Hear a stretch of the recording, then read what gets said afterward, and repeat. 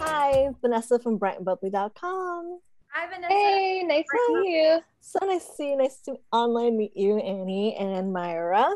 So, my first question, I guess, is for both of you guys. Um, how did you first become involved with the film, and were you fans of the original? It's like who's going first?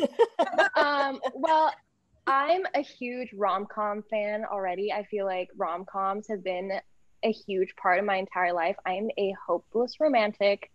I die for rom coms. I get very emotionally invested. So I've always been a really big fan. Um, so when I heard about the remake, which I'm pretty sure is the way you heard it too, Annie, like via our reps,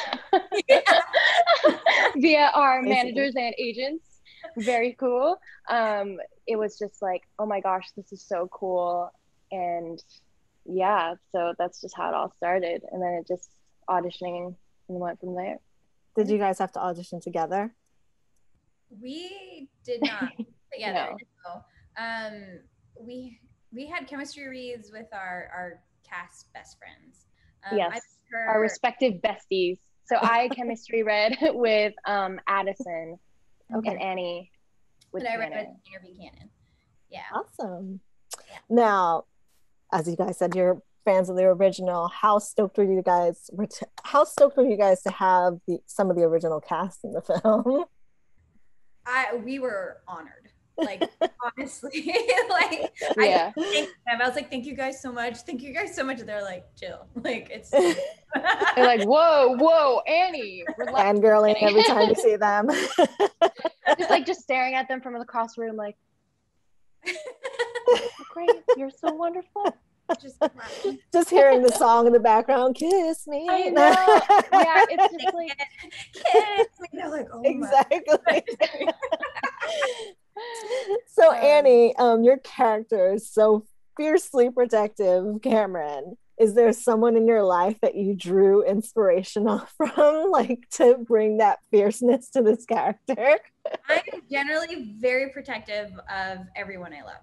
Um, like when it comes to me i'm like Meh. but like uh, if someone does anything to like my friends my family or even like students that i used to work with i'm just like what's up? You know up, you know? Mm-hmm. but uh, that's me. As a person. Exactly.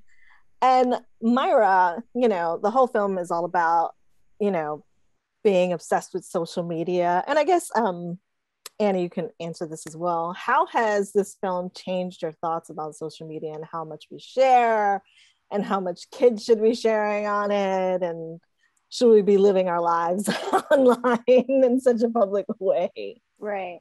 I mean, that's such a tough question. I feel yeah. like, I mean, prior to the film, I never had a TikTok.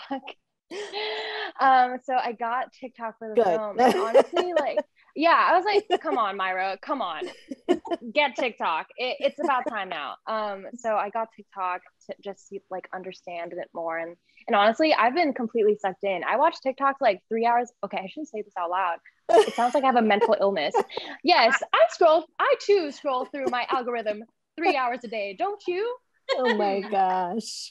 like the new Sunday paper. Oh my gosh. Um, but no, I feel like usage of social media really is what you make of it and i feel like it can be an extremely powerful thing and special thing. It's a way you can keep in touch with friends family and people can be really creative with it. People have built whole you know pe- people have been so have created so much on tiktok instagram Twitter, people made so many connections, and I think it can be a beautiful thing, but it's really how you use it and how you regulate it in your life. And I feel like we're getting better and in regulating it in our daily lives i feel because people are very aware about you know mental health and all these things and there's a large conversation about that on social media as well so i feel like it's very important for that as well just a place to share and a place to relate to other people and i feel like that for me personally and i'm sure for a lot of people our age and younger is important for them place to be able to feel included and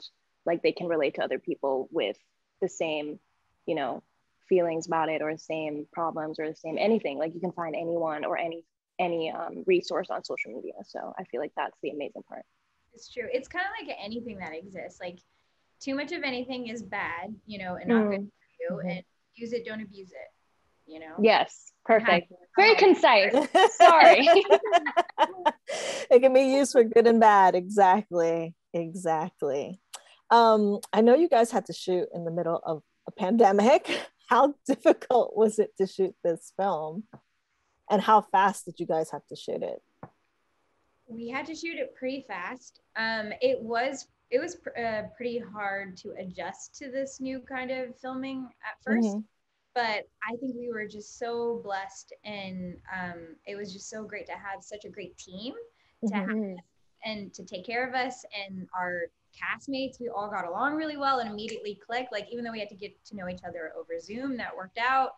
Mm-hmm. Um, everyone yeah. was very responsible, really safe, um, and our production team was so great in making sure that we were comfortable and um, that the set was safe. And so that made everything a million times. Very smooth. And like shout out to Mark Waters, man. Like he he's the real MVP. Like he really, really put his heart and soul into this and really made sure that we did this safely and brought out the best performances in all of us and made it such like a fun environment, even though everything around us was extremely stressful, aka the pandemic. Yeah. So it was a, like I. I'm sure I, I'm sure I speak for Annie too, in that we both feel extremely grateful that we had a, the chance to do this even in the middle of a pandemic. Yeah, so, awesome. Yeah. And my final question is what are you guys hoping young girls and especially LGBTQ community kids um, take away after seeing this film since you guys are such a cute couple in the film? I'm, I'm trying to hug you through the Zoom, but Aww. I don't know which way you are, so it's okay. uh, what do we hope? Um, I really hope that they um, that people watch this and feel seen, and that they really feel represented, and that um, that there's someone that they can know, that they can have the freedom to be who they are because they get inspiration from seeing us living our lives fully the way they are. But I mean, y'all don't need us to do that really. no, we can represent y'all. yeah. I mean, like as someone who grew up watching rom-coms, I feel like representation is always extremely important. And it's I feel like it's really important that, you know, the the the people who are watching this for their generation, they like Annie said, they can feel seen, they feel represented, and they can relate to the stories because I feel like that's always the stories that stick with you the most are the stories that you see yourself in. Yeah. So. Yeah. Awesome. I mean, it's true. We don't ever really realize how important um, representation is until someone like says it to you and they're like, wow, I'm so glad, like, you know, mm-hmm. you're there I feel seen. Or even um, my friend, she writes novels for young um, LGBTQ groups, and she was writing a character that was uh, like Indian background, Indian ethnicity, but from South India and Christian, which people don't know that there are Christians in South India.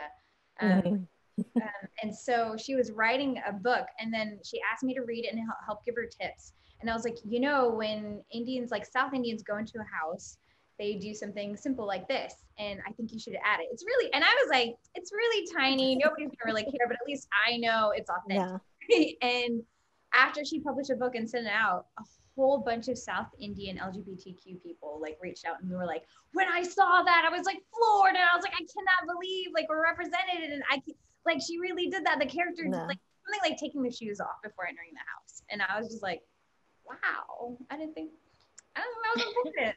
But we important, Myra. exactly. Every small thing counts. All right. Well, thank you guys so much for chatting with me today. You guys are amazing. Love the film. Thank you. So much success. Thank you so much. Have a good day. Thank Bye. you. You